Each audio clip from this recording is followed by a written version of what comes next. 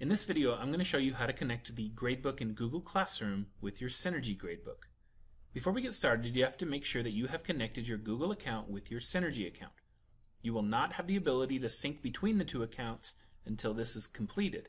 So I've created a video on how to do that and will link it in the description below.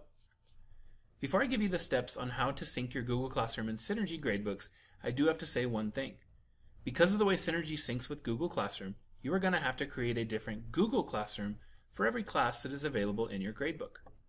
For example, on my screen right now, you can see that I have two fifth period classes. One of those is for inclusion students, and one is for regular ed students. When I go into Google Classroom, I'm going to make sure that I also have a classroom for my inclusion students and one for my regular ed students. Now on to getting the sync set up. The first thing you're going to want to do is make sure that your classes are created in Google Classroom. Today I will be linking my two fifth period classes, which as I said includes two different sections. Going into Synergy, I'm going to hover over Gradebook and click on Gradebook Setup. When that page comes up, I'm going to click on Class Settings. You'll notice that there's now a Google Classroom column with every class being listed currently to set as off.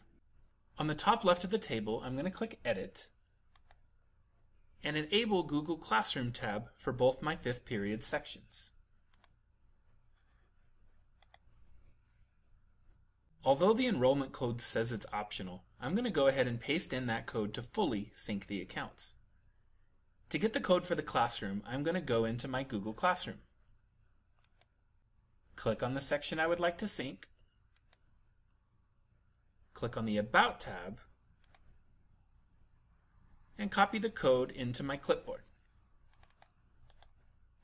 From there, I'm going to go back into Synergy and paste the code into the enrollment code box. I'm going to do the same thing for my other fifth period section.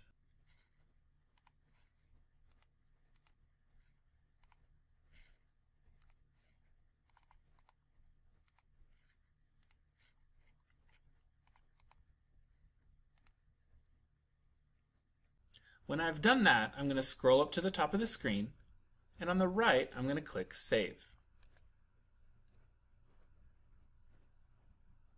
Now when I go back into my fifth period classroom, you can see that my Google Classroom assignments have been synced over into this classroom.